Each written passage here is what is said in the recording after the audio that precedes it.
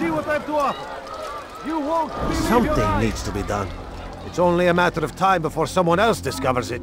Tell him then it's in his best interest to keep the souk secure. He won't meet with me. Too busy with this new deal of his. And the guards? Tried already. They won't lift a finger unless the order comes from him. Then what will you do? I'll go to Abu Nuqoud. The merchant king? he won't see you. He doesn't have to. I've written him a letter that explains the problem. He can read it and decide for himself.